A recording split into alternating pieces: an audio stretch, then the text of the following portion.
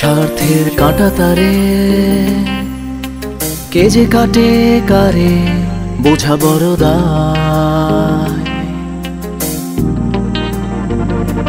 কারও চোখে আলো, কারও বা ধূসর কালো বাঁচে হতাশা, বোঝা বড় বাঁচে হতাশা, বোঝা বড় দায়।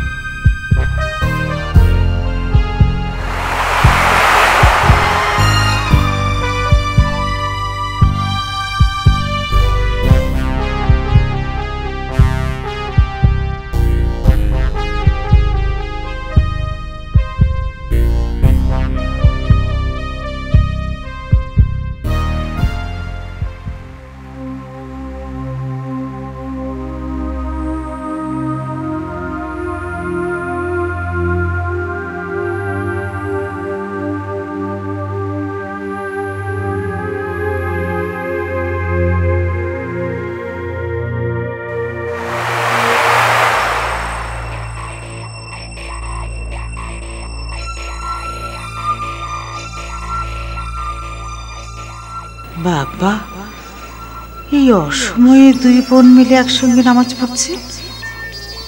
ব্যাপারটা কি? কিছুই তো বুঝতে পারছি না। ও আশ্চর্য। আমিও যে কিনা একদম পোকার হত আরে আমার ছেলে আর্থিক আসছে। কত বড় একটা সুখবর। সেটা শুনেই হয়তো শুক্রিয়া আদায় করছে। ওরা মুখে স্বীকার না করলে কি হবে? মনে মনে ঠিকই জানি যে সংসারে সব মেয়ের বিয়ে আমিই দিচ্ছি। হ্যাঁ আমি। ব্যাস, আজ যদি কাজের বিয়ে হয়ে যায়, তাহলে রাইসার বিয়ে? রাইসার বিয়ে কি আর আটকে থাকবে? রাইসার বিয়ে দিয়ে তবেই আমরা নিশ্চিন্ত। তারপরে একটু নিশ্চিন্তে ঘুমোতে পারব। আমার আশা যেন পূরণ হয় আল্লাহ।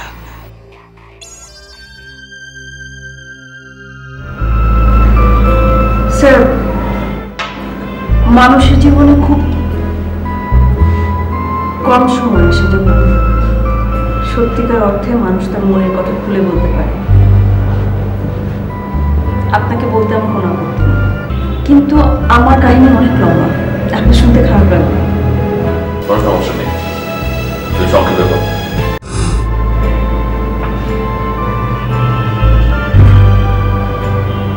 আমার বাবা প্রফেসর রহমান। বাবা কলেজে আমি পড়াশোনা করতাম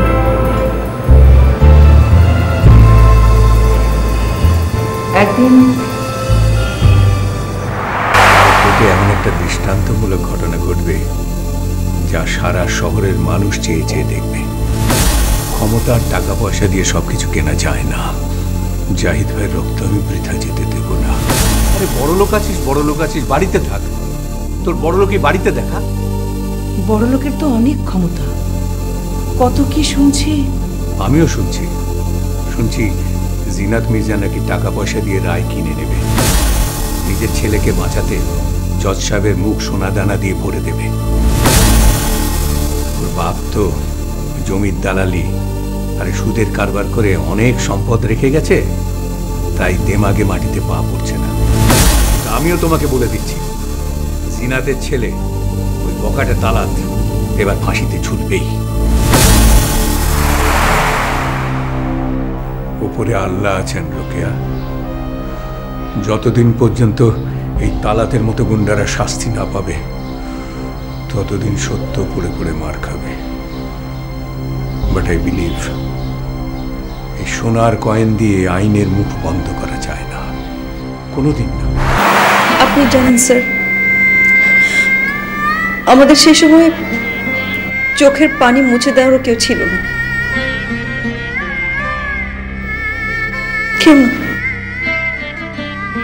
তারপরও তারপরও আমি, আমার মা, আমার ফুপি, আমার বোনরা, আমরা সবাই মিলে বাবার সেই যুদ্ধটা চালিয়ে গেছি। আপনি জানেন, বাবার কোয়ার্টার থেকে আমাদের বের করে দেওয়া হয়েছে। আমাদের সবচেয়ে ভালো বোন। আমার বড়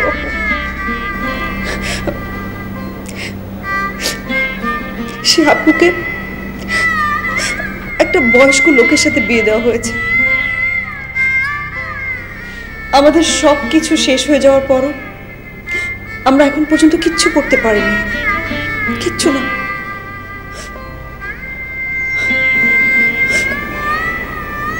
অথচ আমাদের পরিবারের সবার স্বপ্নগুলো। এক এক করে ভেঙে চুরমারও হয়ে গেছে। আমার চোখের সামনে, আমার চোখের সামনে সবার স্বপ্ন ভেঙে গেছে। কিন্তু জানেন স্যার, আমরা এরকম ছিলাম না। আমরা অনেক হ্যাপি ছিলাম। অনেক সুখী একটা পরিবার ছিলাম আমাদের বাসায় একসময় কত হাসি ছিল, কত আনন্দ ছিল। যখন বাবা বেঁচে ছিল।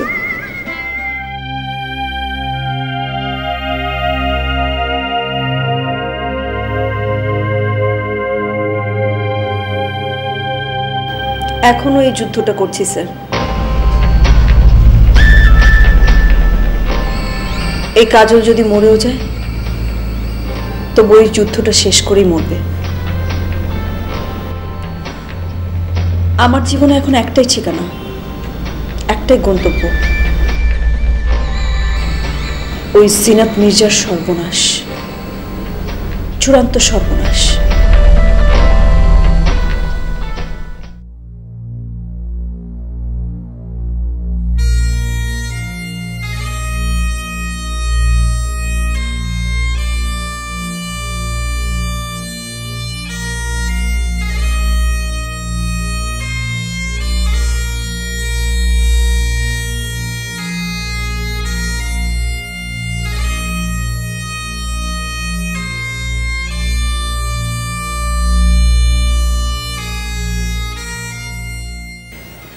কি রে?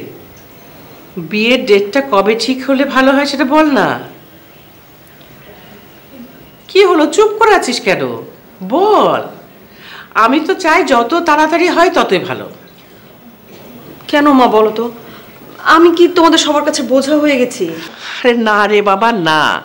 বোঝা কেন হতে যাবি রে মা? আচ্ছা তোর বাবা বেঁচে থাকলে কে কথা বলতেন না বল? বুঝিস না কেন আমি একা মানুষ। তার উপরে বয়স হচ্ছে। তো তারা ফুপির হেল্প ছাড়া আমি সব দিকে সামলাতে পারি না। তাছাড়া তারা শ্বশুরবাড়ির লোকজন তো সবাই খুব ভালো। আতিকও নিশ্চয়ই। মা শোনো। তার আগে আমার তোমার সাথে কিছু কথা আছে। তোর? তোর আবার কি কথা? না না ও বলুক না ও কি বলতে চায়। রাইসা বলতো? মা তুমি বোধহয় জানো না খাজনাপুর কিন্তু অলরেডি বিয়ে হয়ে গেছে।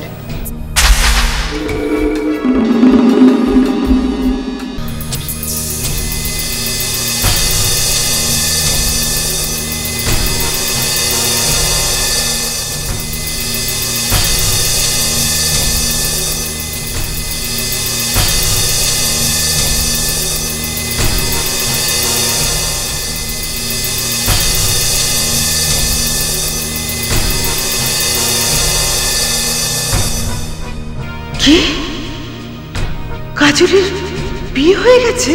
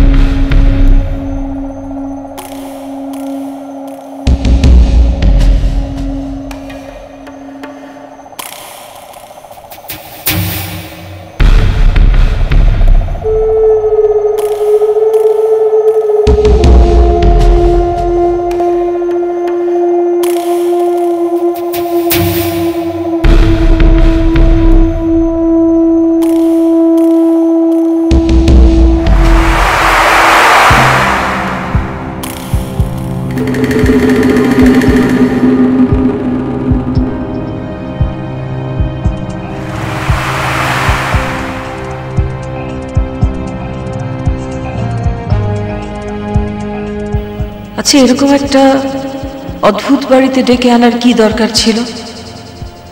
এই বাড়িটা তো আন্ডার কনস্ট্রাকশন মনে হচ্ছে। বাড়িতে কেউ থাকে বলেও তো মনে হচ্ছে না। সাজুটা এমন এমন কাজ করে না। ও কোনো গেম খেলার চেষ্টা করছে না তো? তা যদি করে, তাহলে আজ আর ও এখান থেকে বেঁচে ফিরে যেতে পারবে না।